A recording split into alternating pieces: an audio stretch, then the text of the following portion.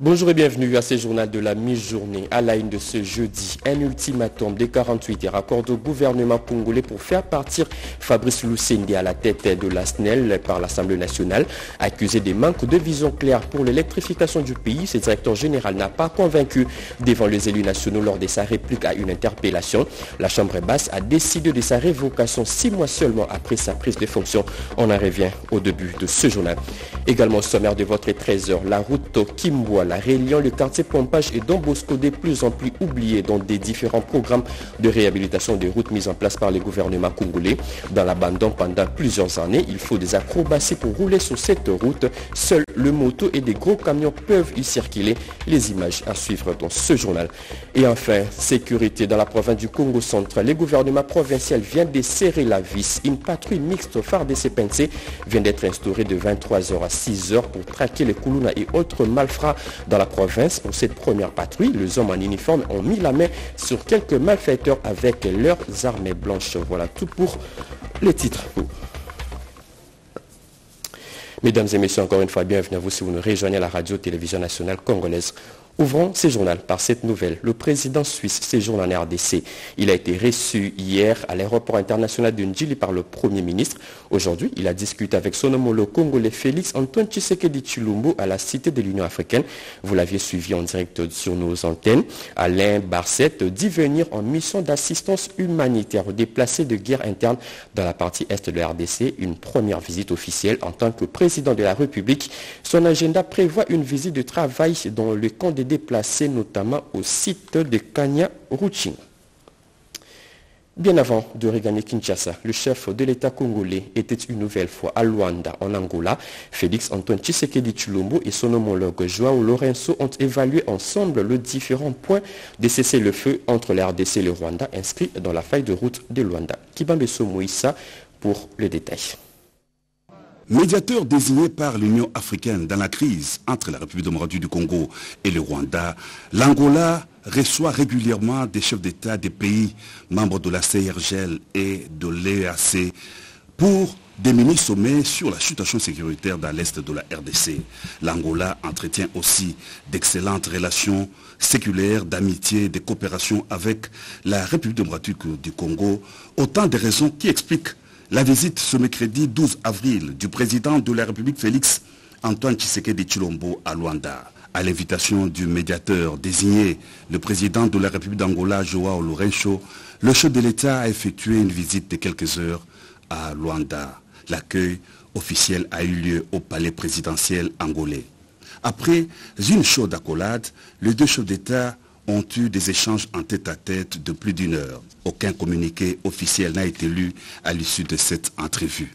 Des sources proches de la délégation du chef de l'État à Luanda, cette rencontre s'inscrivait dans le cadre des consultations régulières entre les deux chefs d'État qui ont passé en revue l'état d'avancement du processus de Luanda.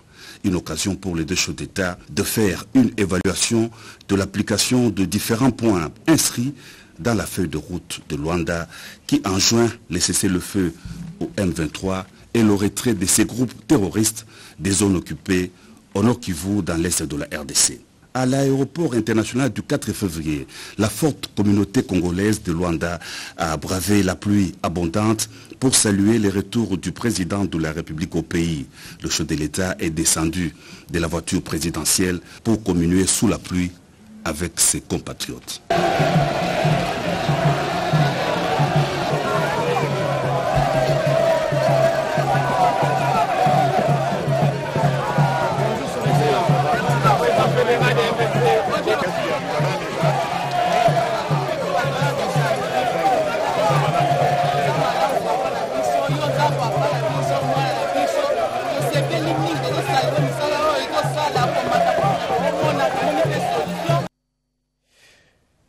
Située la Suisse Quels sont ses pays frontaliers ou ses pays voisins? Quelles sont ses différentes richesses? Autant de questions répondues dans cette carte postale dressée ici par Jacques Kabouaba. Moukoumina Seydouka. Suivez. Au cœur de l'Europe, la Confédération helvétique, la Suisse bien sûr, est un pays alpin de 41 285 km sans accès à la mer. Au nord, elle partage sa frontière avec l'Allemagne, à l'est avec l'Autriche, au sud avec l'Italie et à l'ouest avec la France. Berne est sa capitale. Vieille démocratie, la Suisse moderne forme un État fédératif constitué de 26 cantons et demi-cantons.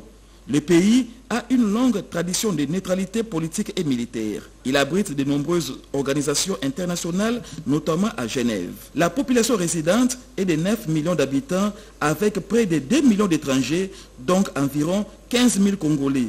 Une histoire au carrefour de trois grandes sphères culturelles européennes, allemandes, françaises et italiennes a contribué à forger une grande diversité culturelle. En effet, on compte en Suisse quatre langues nationales, l'allemand, les français, l'italien et les romanges. Pauvre en matière première, la Confédération helvétique excelle dans des industries de transformation à valeur ajoutée et les services financiers. Les transports, la logistique et le tourisme jouent également le rôle majeur. Depuis l'accession de la RDC à l'indépendance, Berne entretient des relations d'amitié et de coopération avec les autorités et les peuples congolais. Ouvert en 1928, le consulat suisse de Léopoldville, transformé en consulat général en 1958, devient ambassade de Suisse au Congo en 1962. Sa vocation première est de représenter la Suisse et les intérêts de la Confédération helvétique en République démocratique du Congo et de renforcer les multiples liens entre Kinshasa et Berne. De nombreux déplacements de délégations autant congolaises que suisses témoignent des liens d'amitié et de coopération qui lie les deux pays. Avec la visite de travail à Kinshasa du président suisse Alain Berset, les liens de coopération entre Kinshasa et Berne sont davantage consolidés dans plusieurs secteurs pour l'intérêt des deux peuples. Je le dis en titre, c'est demain que expire l'ultimatum des 48 heures accordé au gouvernement congolais pour faire partir Fabrice Lucinde à la tête de la SNEL par l'Assemblée nationale, accusé de manque de vision claire pour l'électrification du pays. Ce directeur général n'a pas convaincu les élus nationaux lors de sa réplique à une interpellation. La Chambre basse a décidé de sa révocation six mois seulement après sa prise de fonction, comme nous disent Sylvie Mouembo, Bernard Baudot et Guy Kitoko dans ces reportages. C'est par un vote conforme au règlement intérieur de la Chambre basse du Parlement que la représentation nationale l'a voté pour la révocation dans 48 heures du directeur général de la Société nationale SNEL SA.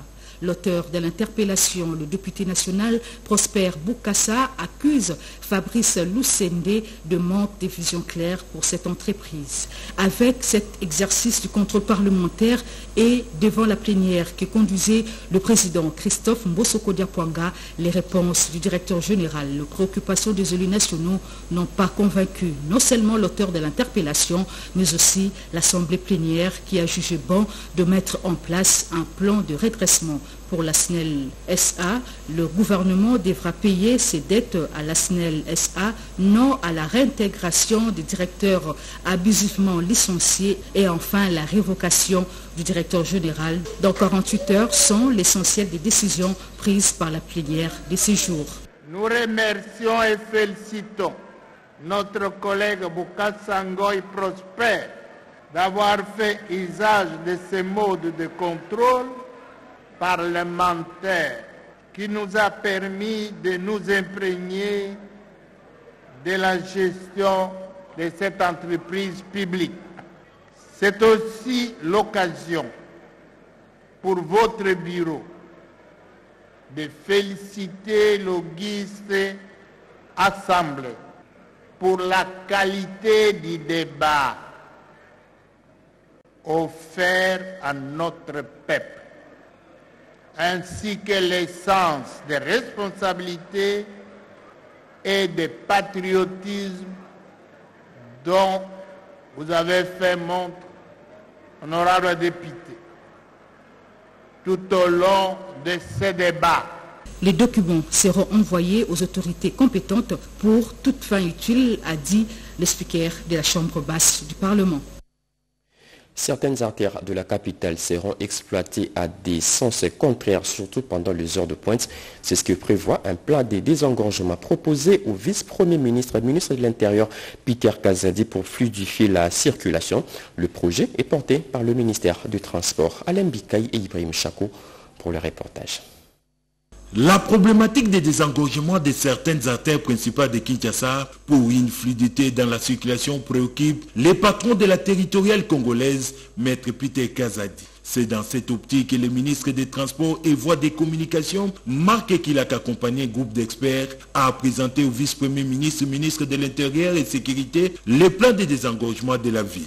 Après avoir reçu les explications sur la mise en œuvre de ces projets, les garants de l'ordre public et sécurité a rassuré son accompagnement pour la réussite de ce plan qui est un début dans la recherche des solutions à l'épineuse question des embouteillages à Kinshasa. Je suis content de l'initiative menée par mon collègue des transports et voies de communication. Je pense que nous devons commencer par quelque part. Comme annoncé, il y aura des artères qui seront à des heures fixes utilisées comme sens unique et à d'autres heures comme le sens inverse en tant que garant de l'ordre public et de la sécurité dans les pays parce que nous connaissons les mentalités de nos compatriotes euh, tendent toujours à violer euh, ce qui est réglementation.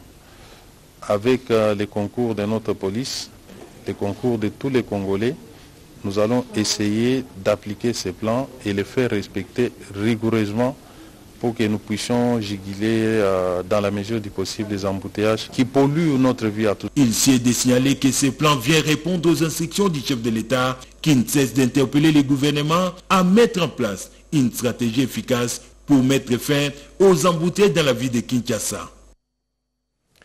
J'en reviens sur ce que je disais au sommaire. La route Kimbola reliant les quartiers Pompage et Don Bosco, de plus en plus oubliés dans différents programmes de réhabilitation de routes mis en place par le gouvernement congolais. Dans l'abandon pendant plusieurs années, il faut des acrobaties pour rouler sur cette route. Seuls le moto et des gros camions peuvent y circuler aussi facilement. Eliange Atassa était descendu sur les lieux pour faire les constats. La route jeunesse reliant les quartiers Pompage, Mondovision, Kimboala ainsi que Don Bosco dans la commune de Mongafula est dans un état de délabrement très avancé qui nécessite des mesures urgentes pour sa réhabilitation. Ces tronçons est à ce jour impraticable, c'est un calvaire pour tous ces usagers et cela fait longtemps. Les trous et de grosses pierres sur cette route en terre rendent la circulation des véhicules, motos et même des piétons difficiles, occasionnant plusieurs accidents et de pannes fréquentes des véhicules. L'utilité de cette route d'intérêt capital qui permet l'évacuation des denrées alimentaires de la première nécessité vers les centres-villes oblige les autorités compétentes à s'impliquer pour sa réhabilitation. Dans l'avenue jeunesse, depuis euh, a commencé à pour le de la route, n'a jamais de solution à travers cette avenue. Nous sommes tellement pénalisés pour la route, il n'y a pas moyen de bien développer notre pays sans pourtant passer sur la jeunesse. Je demanderai juste aux autorités euh, compétentes de bien nous aider. De bien nous aider parce que nous avons besoin de cette aide qui est supérieure. Si vous voyez vous-même, il y a même beaucoup de gens qui commencent même à dévier des routes en travers toujours Retenons que la situation de cette route qui relie plusieurs communes de la capitale à la province du Congo central s'aggrave davantage avec la fréquence des grandes pluies. Le secteur minier, de plus en plus convoité par les femmes entrepreneurs. Une journée d'échange sur les informations minières est organisée par la Chambre de mines de la RDC et la Fédération des entreprises du Congo à l'attention de ces femmes. Une journée élargie à quelques membres du gouvernement. Emmanuela Commissaire et Dieu merci Sueka pour le détail. Une journée exceptionnelle colorée par de femmes entrepreneurs œuvrant dans différents secteurs. Elles ont répondu affirmativement à cette journée d'échange tenue par la Chambre des mines en collaboration avec la FEC, soucieuse de voir la femme s'impliquer dans le secteur minier. L'objectif poursuivi est d'amener la femme à une meilleure appropriation du dit secteur, un motif de satisfaction pour la coordonnatrice de la Chambre des mines RDC, Bernadette Poundou. La loi sur la était une loi, je dirais même patriotique. C'était une loi pour les gens, les, je veux dire le législateur, les politiques et tous ceux qui se sont euh, impliqués pour que cette loi puisse voir le jour. C'était des patriotes qui voulaient que le Congolais puisse manger la richesse de son pays, que le Congolais puisse avoir la possibilité se dire j'ai un pays riche et moi-même je suis riche. Une cérémonie qui a connu la participation de plusieurs membres du gouvernement, parmi lesquels les ministres de la formation professionnelle et de la culture, une façon de soutenir leur père à entreprendre dans ce secteur porteur de croissance. Le DG de l'RSP, Miguel Kateb, l'un des intervenants, a donné les explications claires sur la sous-traitance en RDC. Je m'aimerais rassurer les dames ici présentes, je vous encourage de créer des structures. Et puis, vous devez vous affilier dans des structures légaux. Parce qu'aujourd'hui, si nous, nous voulons encadrer la sous-traitance, n'est-ce pas Nous encadrons la sous-traitance, mais on va l'encadrer, ce n'est pas dans la rue. N'est-ce pas? Nous devons passer par des structures qui existent, qui sont légalement constituées. Il a ainsi appelé la femme à connaître les ressources que contiennent le pays pour répondre à la vision du chef de l'État, celui de créer les millionnaires congolais.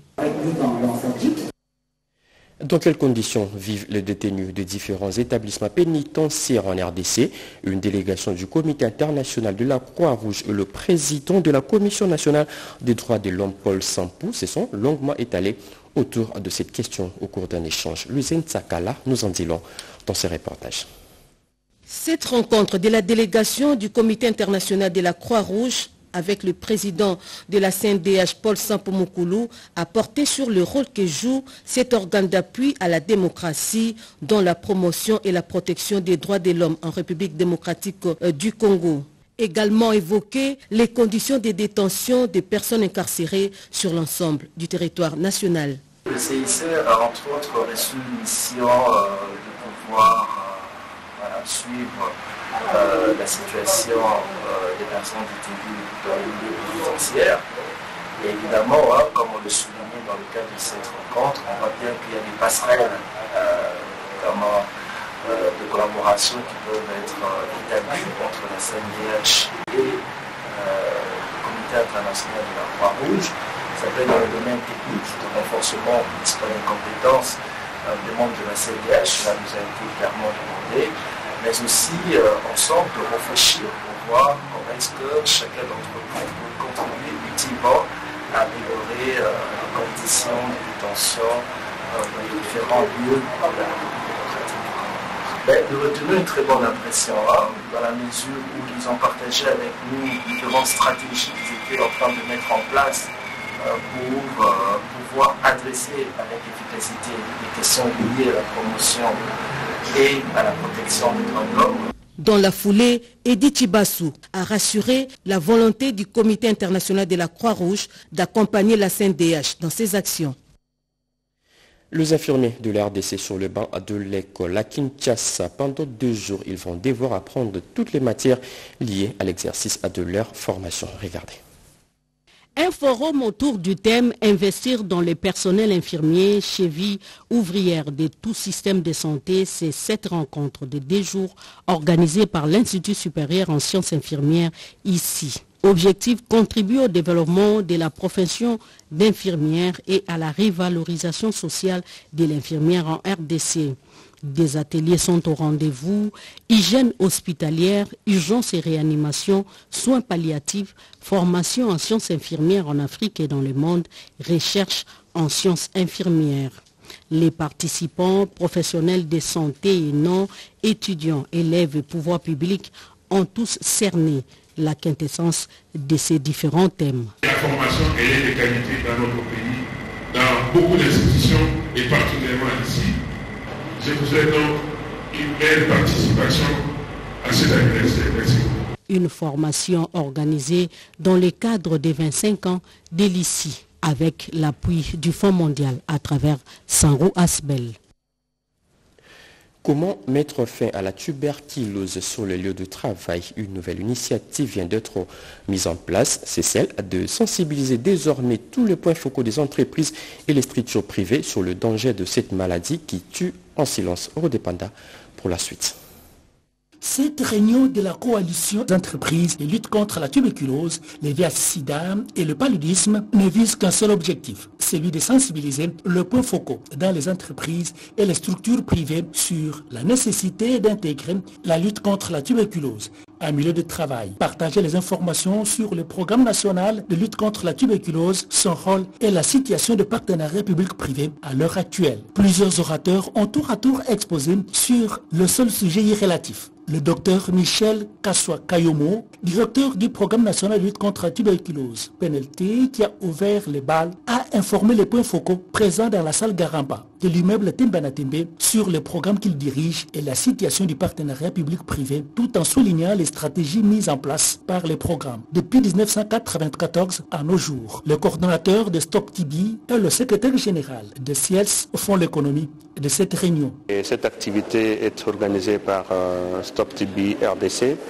bien que euh, profitant euh, de la réunion mensuelle de CIELS. Les recommandations qui ont été formulées ici présagent un très bon avenir cette implication tant voulue par la société civile que nous sommes donc Stop TB RDC. Nous allons accompagner CIELS avec les entreprises et les structures privées pour que réellement l'intégration de la lutte contre la tuberculose en milieu de travail soit une réalité. Je leur demande de pouvoir rejoindre la CIELS afin que nous puissions atteindre les, objectifs qui sont fixés pour la couverture santé universelle telle que prônée par le chef de l'État. Toutes les entreprises, publiques comme privées, ont pris l'engagement de mutualiser les efforts dans la lutte contre la tuberculose en milieu de travail.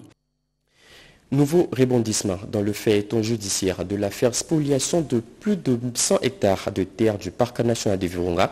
La cour d'appel de Tanganyika vient d'annuler le jugement du tribunal de grande instance de la Gombe. Ce parc national vient ainsi d'être rétabli dans ses droits au détriment des particuliers qui s'est passé pour des autochtones. Regardez. Un arrêt rendu par la Cour d'appel de Tanganyika à Kalemi le 8 mars 2023 a annulé le jugement du tribunal de grande instance de Goma dans les dossiers de rétrocession de 1110 hectares dans la partie Chauvet en Zoulo au profit d'un groupe de 5 personnes qui s'est passé pour autochtones, ont précisé les officiers de l'ICSN, entre autres maître Lucien Mouniantoiré, avocat conseil de cet établissement public. Le village Nzoulo ne fait pas partie du parc et ne fait même pas partie de l'objet du litige euh, dont on parle ici. Parce que le dossier Nzulo suscite beaucoup de passion dans la province, on a pensé que les dossiers ne pouvaient pas être jugés ici de façon sereine. Alors la Cour de cassation a délocalisé ces procès à la Cour d'appel de Tanganyika.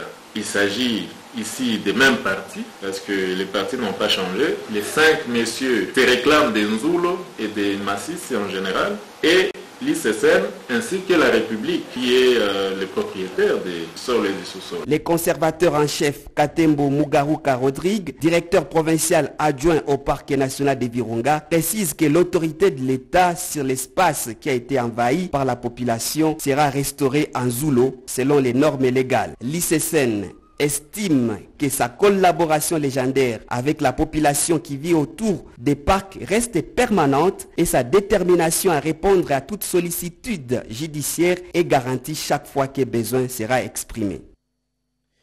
Lutte contre le tribalisme et le racisme en RDC, une proposition de loi sera examinée au cours de cette session parlementaire à l'Assemblée nationale. Son initiateur, le député national Gary Sakata, était devant le membre du PNUD pour expliquer les contours et les contenus de ces textes. Mamita Bangoulou pour le reportage.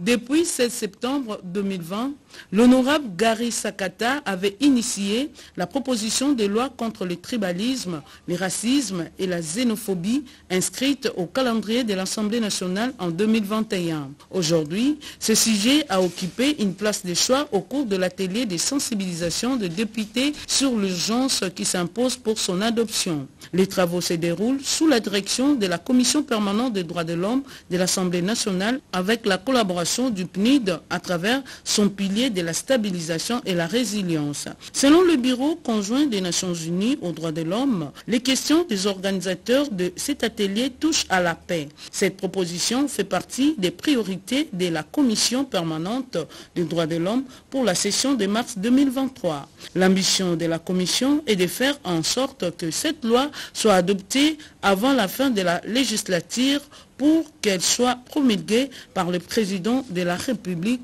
dans le cadre de la mise en œuvre de ces processus de l'adoption de lois contre le tribalisme, le racisme et la xénophobie. Il est urgent que cette loi soit prise en compte lors des prochaines sessions. Nous devons renforcer la cohésion, l'unité, éviter tout ce qui peut diviser le peuple congolais. Il est important que nous puissions, nous comme euh, représentation nationale, doter le pays d'un cadre légal qui manque. Parce que les textes qui existent aujourd'hui datent de très très longtemps et ce sont des textes qui mettent l'accent sur la répression. Or, nous pensons qu'il faut mettre l'accent sur la prévention. La coopération suédoise a également mis sa main dans la pâte en vue de la réussite de cette activité et du projet de la stabilisation de la RDC. Cette loi doit être dirigée par les nationaux, doit être soutenue par tous des instruments juridiques internationaux, régionaux et nationaux importants. La CENI met à jour ses outils de travail. Le secrétaire exécutif national de la centrale électorale était hier dans l'entrepôt situé à l'aéroport international d'Indjili pour vérifier ses travaux relatifs à la fonctionnalité des dispositifs électroniques de vote de plus de 9000 machines, comme nous disent Teti Samba et je reste au Le secrétaire exécutif national de la Commission électorale nationale indépendante, Toto Mabig Totokani, accompagné de son adjoint, Madame Marie-Josée Kapinga, a effectué une visite de travail à l'entrepôt de la CENI, situé à l'aéroport international de Ndjili. Cette descente a consisté au démarrage de la vérification de l'état de fonctionnalité des dispositifs électroniques de vote pour la tenue des prochains scrutins qui commenceront dès décembre de l'année en cours. À l'issue de la dite visite, le secrétaire exécutif national a fixé l'opinion sur le bien fondé de cette opération. Je suis venu ici avec euh, mon adjoint et aussi quelques directeurs euh, de direction technique pour visiter nos dispositifs électroniques de vote et surtout voir le débit des travaux de préparation de cela. Ils vont travailler pour voir les dispositifs électroniques de vote qui sont en bon état et aussi voir ce qui pose problème, comment on peut les mettre à jour pour que ça puisse fonctionner normalement. Mais je précise que nous allons aussi changer la partie software qui tourne sur cela pour adapter cela avec l'évolution de la technologie. Parce que 4 ans ou 5 ans, c'est quand même beaucoup. Et c'est pourquoi nous devons mettre cela à jour aussi. Il convient de signaler qu'après l'aéroport international de Ndili, le secrétaire exécutif national et sa suite a pris la direction de l'avenue des Poids Lourds dans la commune de Limété où ils ont visité le grand entrepôt central de la CENI pour voir l'état d'avancement des travaux en cours d'exécution. Pour rappel, c'est en 2022 que la CENI a procédé au dernier test de fonctionnalité des équipements au cours duquel il a trouvé moins de 3% des dispositifs en panne sur plus de 9000 machines contrôlées à l'entrepôt de l'aéroport international de Ndjili. Exploitation de mines dans la province de Olumami. Les Chinois de plus en plus intéressés. Un groupe d'investisseurs chinois en a fait part à la gouverneure de cette province au cours d'une audience leur accordée. Regardez. Par la conférence tenue à Lubumbashi par la gouverneure sur les opportunités d'affaires qu'elle regorge sa province, les investisseurs inondent déjà les Olumami. Il s'agit des investisseurs chinois basés dans les mines qui ont pris langue avec l'honorable docteur Yumba Kalenga Mushimbi Isabelle.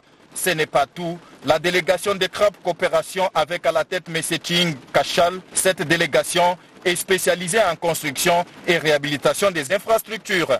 Nous sommes dans le secteur de construction et ainsi que réhabilitation de plusieurs écoles, des routes et, euh, et d'autres projets à voir. Pour nous, c'est la première.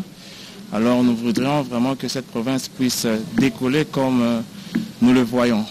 Exactement. Donc j'inviterai aussi ceux qui doutent encore de venir dans cette province afin de faire la même chose.